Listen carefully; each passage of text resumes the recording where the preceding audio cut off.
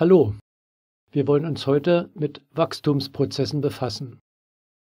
Wenn du Geld auf dem Konto hast, wirst du dir sicher wünschen, dass es durch Zinsen und Zinseszinsen recht schnell anwächst. Bei einer schlimmen Krankheit wiederum sollte der Zuwachs an betroffenen Personen möglichst schnell begrenzt werden.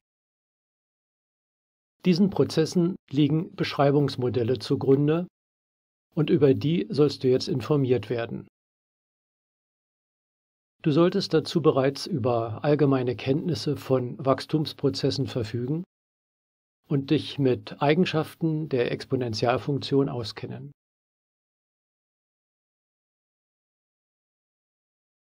Wir lernen heute Modelle für unbegrenztes und begrenztes Wachstum sowie Merkmale für ihre Unterscheidung kennen.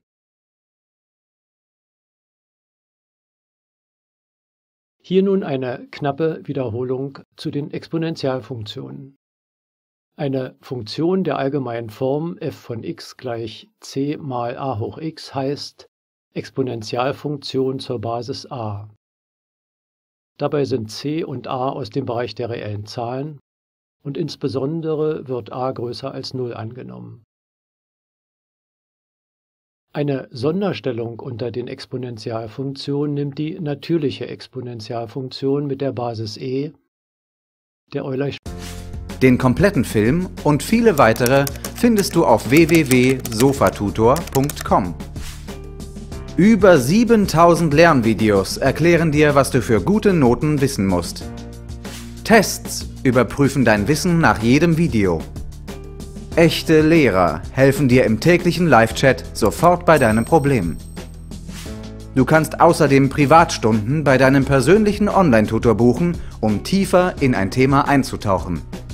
So helfen wir dir, deine Zensuren ohne großen Aufwand zu verbessern. Probiere es am besten sofort aus auf www.sofatutor.com.